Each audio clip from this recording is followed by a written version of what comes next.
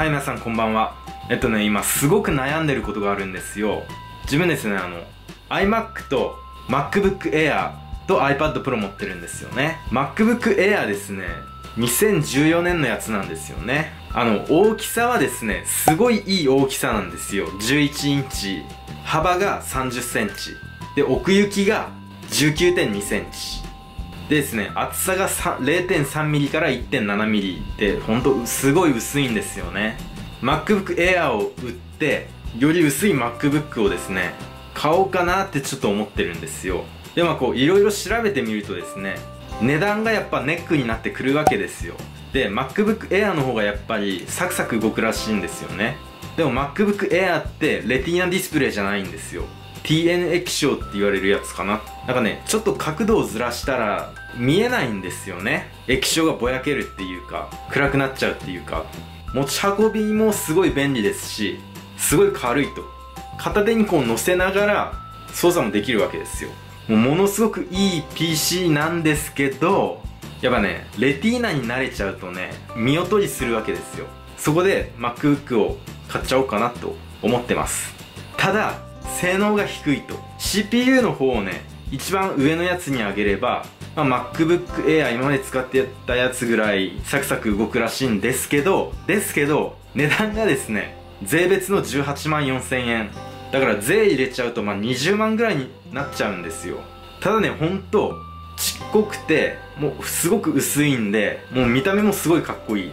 でもう一個ちょっと自分の中で選択肢が出てきたのが13インチの MacBook Pro であの自分はですね iMac っていうメイン PC を持ってるんでサブ PC として欲しいわけですよね。なんでそんな高性能じゃなくてもいいんですけど同じ20万出すんだったらって思うんで MacBook の CPU のレベルを上げたやつが、まあ、18万4000じゃないですか。で13インチのレティーナディスプレイモデルだったら真ん中のスペックで17万2800円なんですよ。まあ19万ぐらいかな。うん13インチの MacBook Pro の大きさなんですけどあのねすごいいいです。今まで自分が使ってた MacBook Air と比べて幅がですね1.4センチしか違わなくてで奥行きもですねまあ2.5センチぐらい。まあ 2. 何センチぐらい違うだけなんですよ。で重さはまあ1.5倍の重さになっちゃいますけど、まあ、レティーナディスプレイと。で性能も結構いいですよと。もうねすごい悩みました。私は2015年の3月に出てるんですよ。で多分もう少し待てば MacBook Pro の新型が出るっていう話なんですけどただですよ。なんか USB-C ポートになっちゃうっていう話があるんですよね。で自分 USB-C ポートの製品なんて何も持ってないんで今ね新型に変えたとしたらその高額な USB-C のものまでちょっとね購入しなきゃいけないと。そんなのもったいないですよ本当。はい。ね USB3.0 でも結構使えるじゃないですか。USB-C に別にしなくていいんじゃないってはちょっと思ったんですけど。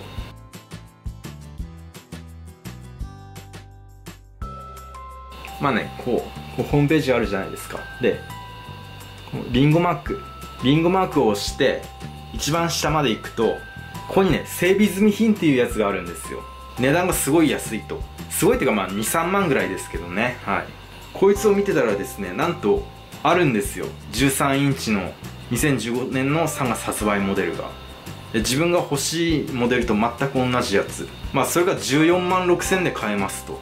MacBook の安い方で14万4000が8000かなそんくらいだったんですけどほぼ同じ値段でもう新品そのものなんですよ。そのものじゃないですけどアップル認定の新品並みの品質らしいんですよね。はい。まあ1年間の特別保証がついてますっていう感じです。はい。なんでねもうすごい今悩んでます。もしかしたらねこれもう買うかもしれないですけどはい。今すごい悩んじゃってるっていう。はい。まあ今日はですねもうこれどうしようかな買っちゃおうかなっていうのとアップルには整備済み品っていうね商品がありますよっていうご紹介でした。ではでは。最後までご視聴ありがとうございました。ここの登録ボタンよりぜひチャンネル登録よろしくお願いします。また次の動画で会いましょう。では。